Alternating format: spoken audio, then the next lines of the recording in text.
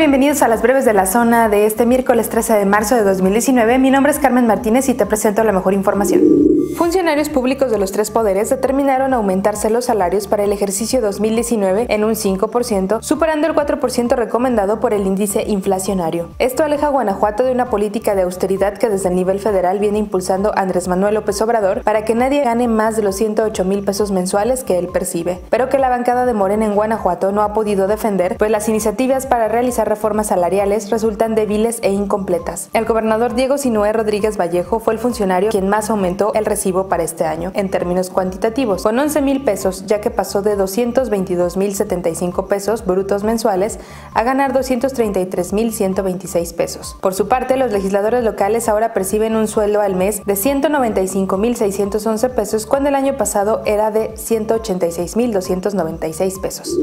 Un hombre fue asesinado de al menos 20 balazos en la calle Carcamanes, ubicada en la zona centro de Guanajuato capital. Los hechos ocurrieron alrededor de las 8.30 de la noche de este martes, cuando en el centro de la capital del estado se escucharon varias detonaciones de arma de fuego. De acuerdo a los primeros reportes, el hombre viajaba en un vehículo Vento con placas del estado de Guerrero y a la altura del Hotel Casa Azul fue rafagueado. Se presume que al interior del vehículo del hoy Oxiso llevaba armas de fuego.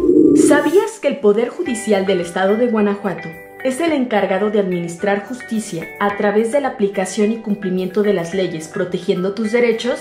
Conócenos www.poderjudicial-medio-gto.gov.mx Más cerca de ti.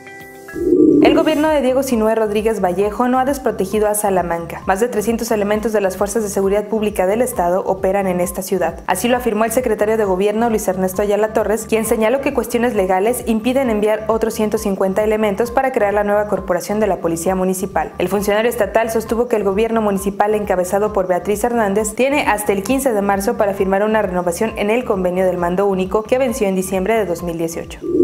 Te invito también a que sigas al pendiente de la información en nuestra página zonafranca.mx y en nuestras redes sociales y a las 9 de la noche mantente informado con Vania Jaramillo.